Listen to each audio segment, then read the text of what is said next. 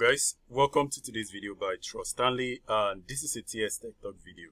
So on today's video guys, I'm going to show you how to check your YouTube history on your Google account.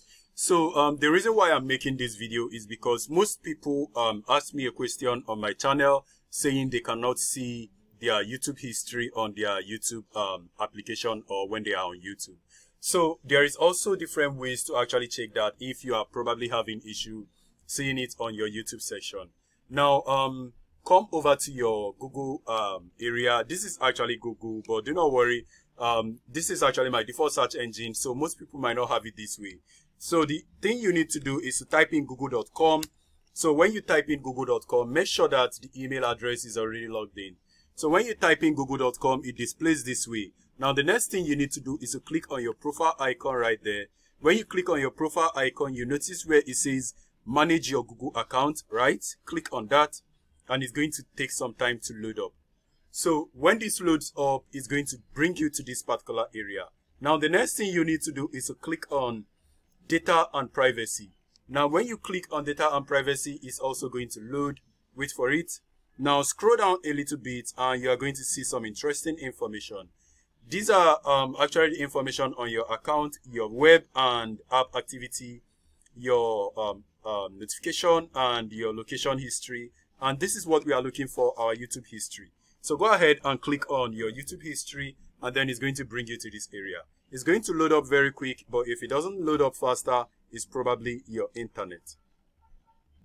Alright guys, um, so you can notice right there, this is, um, this is your YouTube history and you notice where it says manage history, right?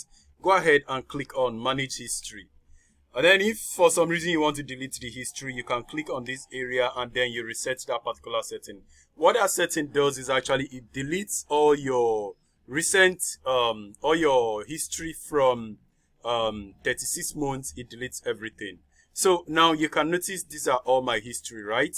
This is actually the video I watched today. This is another one I watched today. So it means that these are all my history. But then you actually want to see it filtered and you want to see your liked video. So you need to click on this particular area on the left hand area where it says interaction. You click on interaction and you wait for it to load. So this interaction is going to show you all of the interaction you've done on your YouTube account. Do not forget that you have to make sure that you are logged in with that particular account.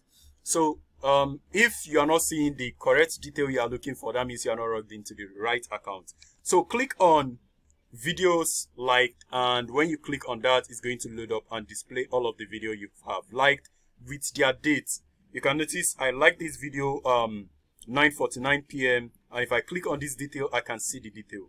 And then i like this video 6 um 49 um 50 6:59 55 p.m and if you click on the detail you are going to see even more information.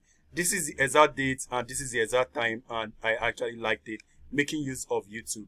So these are all the videos that I have liked and this is actually how to check and see all of the video that you have liked. So guys, let me know if you have any question or if you have any challenge. And also guys, if you want to delete your history, you can go ahead. Um, this is a mistake.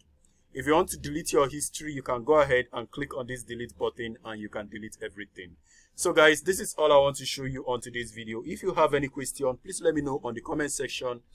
And guys, I will see you on my next video. Please stay safe and peace.